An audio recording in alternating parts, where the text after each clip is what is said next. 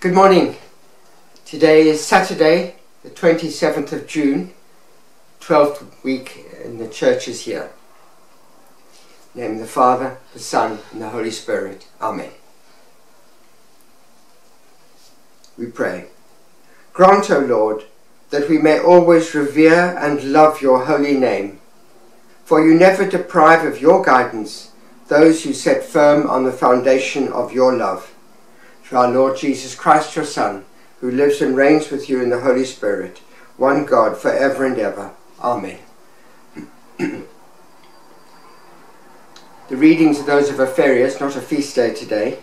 And the first readings are from Lamentations, talking about the desperate plight of the poor, the hungry, and the starving in Jerusalem from Lamentations um, as a result of the invasion of the Babylonians. And the psalm also turns to the Lord and asks for recovery from the pitiful state that they're in. The Gospel, however, continues in Matthew chapter 8, uh, following on yesterday's readings. chapter 8, verses 5 to 17.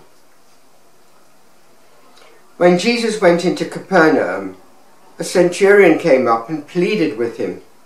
Sir, he said, my servant is lying at home paralyzed and in great pain.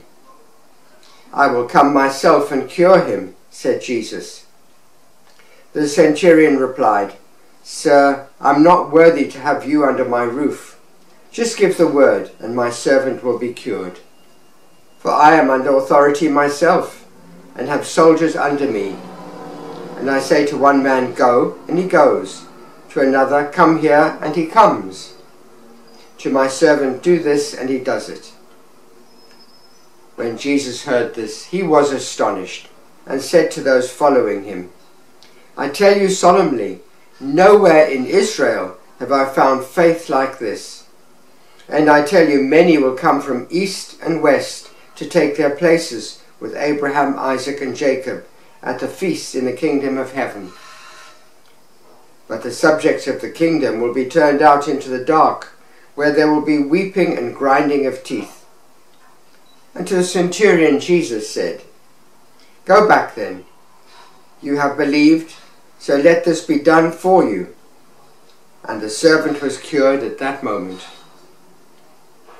And going into Peter's house, Jesus found Peter's mother-in-law in bed with a fever.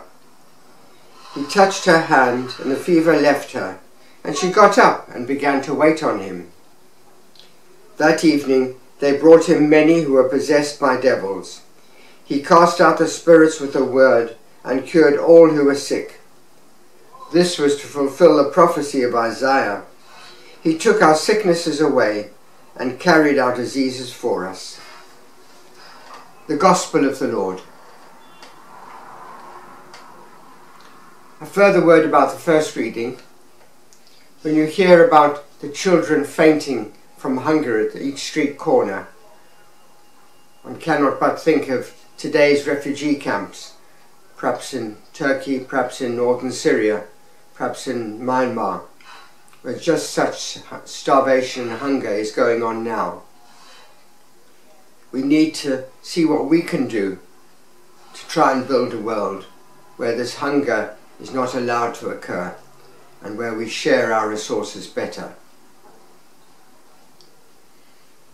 The Gospel begins with the centurion coming to Jesus at Capernaum.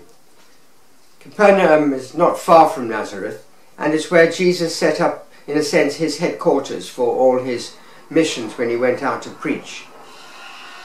It was his base. And for the Roman centurion to come to him was extraordinary.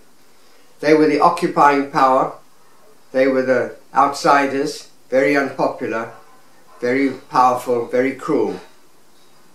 And yet the centurion came to him about a servant of his who was sick and in pain, clearly indicating the humanity of the centurion. Although a Roman soldier, he cared for those, in his, those who were serving him. It's not clear whether his servant was from a, a Roman as well or more somebody local. Anyway, Jesus undertakes to cure him, and we get this extraordinary dialogue whereby he says, You don't need to come. I know you're a man of authority, and what you say will happen, even at a distance, will happen. And Jesus is very impressed with the faith of the centurion and goes on to give the little lesson which perhaps they needed to hear at the time that his new dispensation, the Christian world, was universal. It wasn't just for the people of Israel. So you hear Jesus say, people from east and west, the borders of Israel, far away, people coming, they're all welcome at the great feast in the kingdom of heaven. This great vision of the church embracing all humanity.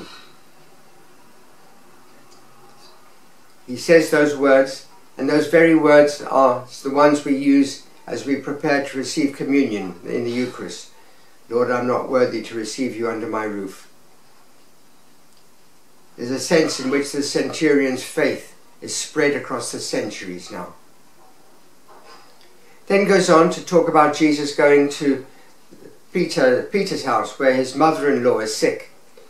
And Jesus touches her and cures her. And she gets up and begins to serve them. I think our first reaction is to say, oh, well, she's been very sick. She doesn't have to start serving.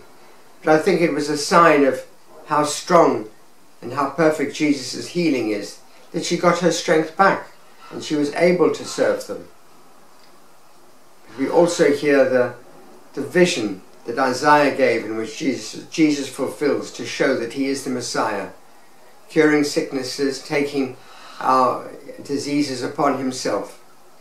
Not because, because he's become uh, the best medical doctor just for physical diseases in this world, but because this is the disease in a sense of being a flawed human being and how going through life we prepare for the place in heaven, the kingdom, the banquet, where we will all be healed and live a good life in love. And this life is a preparation for that. We turn to our bidding prayers. The response is, Father, send us your Spirit. Father, send us your Spirit. God's gift was not a spirit of timidity, but a spirit of power and love and self-control. So with complete confidence we pray, Father, send us your Spirit. Praise be to God, the Father of our Lord Jesus Christ. In Christ you have given us every spiritual blessing. Father, send us your Spirit. By the power of the Holy Spirit, Mary brought Christ into the world. Through the Church, may Christ be born again today in the hearts of men and women. Lord, send us your Spirit. Father, may your Spirit lead us forward out of solitude. May he lead us to open the eyes of the blind, to proclaim the word of light, to reap together the harvest of life. Father, send us your Spirit. Let our striving for your kingdom not fall short through selfishness or fear. May the universe be alive with the Spirit, and our homes be the pledge of a world redeemed. Father, send us your Spirit. And we turn to the Father, the prayer Jesus taught us. Our Father, who art in heaven, hallowed be thy name. Thy kingdom come, thy will be done on earth as it is in heaven. Give us this day our daily bread, and forgive us our trespasses, as we forgive those who trespass against us. And lead us not into temptation, but deliver us from evil. Amen. We pray. All-powerful, eternal God, splendour of true light and never-ending day, at this return of the morning hour, chase away the night of sin and fill our minds with the glory of your coming. Through our Lord Jesus Christ, your Son, who lives and reigns with you in the unity of the Holy Spirit, one God for ever and ever. Amen. The Lord be with you and with your spirit. Almighty God bless you, the Father, the Son, the Holy Spirit. Amen. Go in peace. Have a good day.